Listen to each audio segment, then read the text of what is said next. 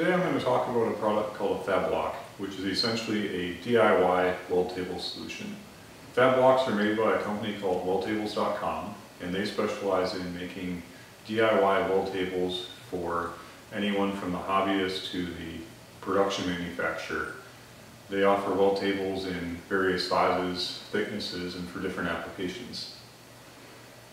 Personally, I was looking for a welding table for DIY Motofix for a long time, and I had investigated about three different options.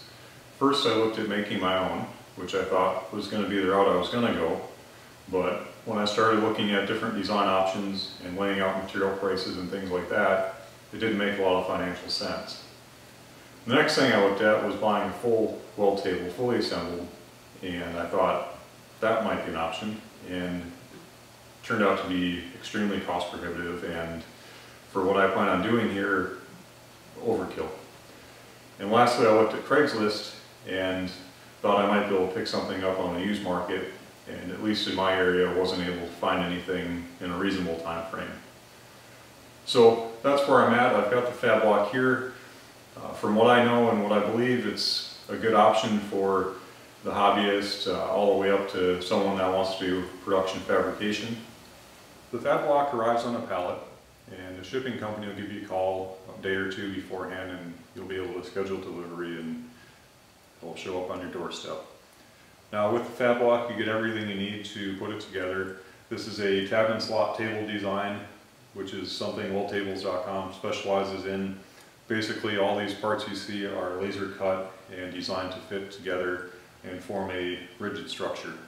And the rigid structure is what allows them to claim that you'll get 10 thou flatness tolerance on the tabletop itself. Uh, it comes with a bill of materials which has a assembly print showing how it goes together and that's really all you need to assemble it. At this point we're going to begin the assembly process.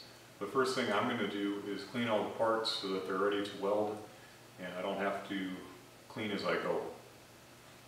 From there we'll begin putting the braces in place and clamping and setting up for the initial tack welds.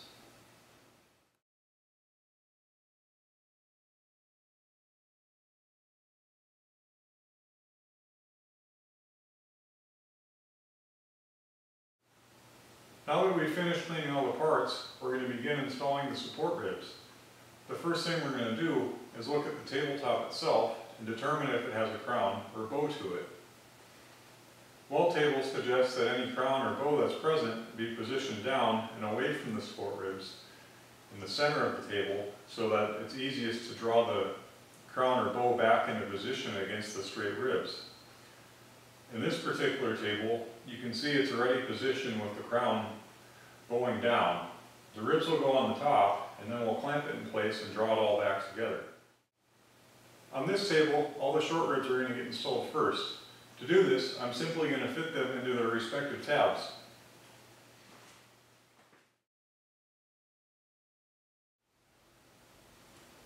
Next, we're going to install the long ribs.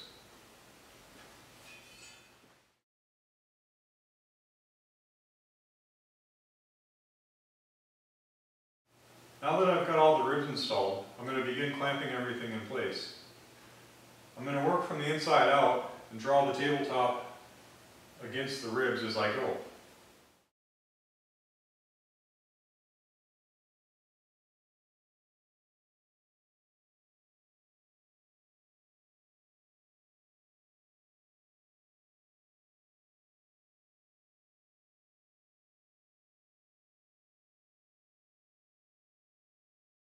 At this point, I've installed all the U-bolts that I have. Next, I'm going to check for flatness and then start tack welding the center.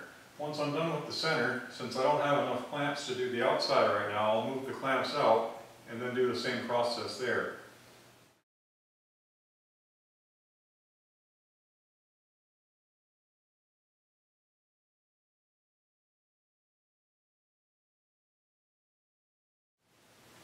So I've gone through and checked for flatness and I basically reconfigured some clamps so that I have an internal rectangle here that's all flat and ready to go for tack welding. Next I'm going to tack weld it and then I'll reposition my clamps.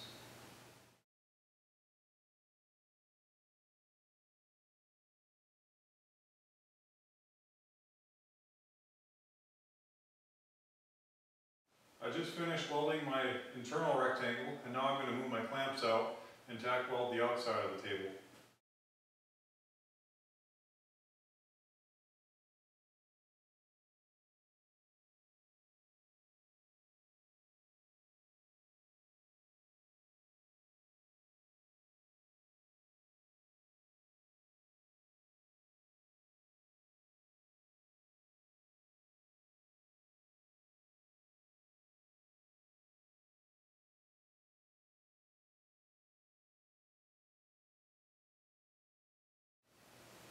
So I just finished tack welding the bottom of the table.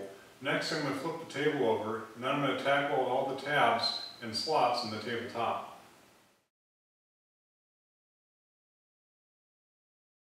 Before I tack weld the tabs and slots in the tabletop, I'm going to check and see how flat it actually is.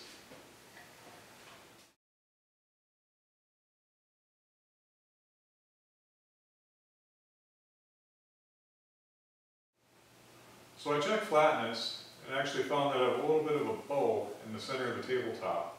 So before I tack weld the tabs and slots in the top, I've used bar clamps to try and bring the bow down and correct it.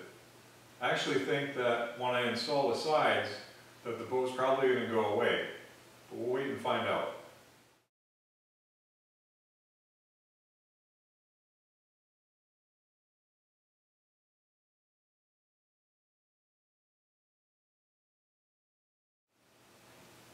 Just finished tack welding the tabletop. Next thing I'm going to do is install the sides. To do that, I'm going to flip the tabletop over and then I'll install the sides by using a combination of U-bolts and bar clamps to secure them in place. Along the way I'll be checking for flatness, squareness, and straightness.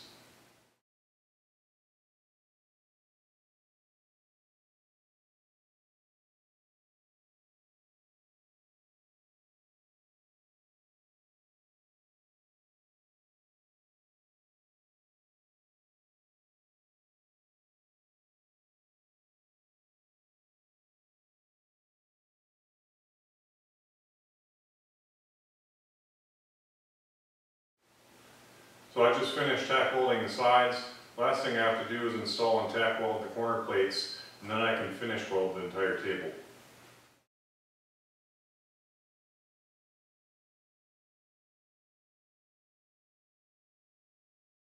The leg plates have been tack welded now. Next I'm going to take the clamps off, flip it over, and then I'll finish weld everything. So we're almost done.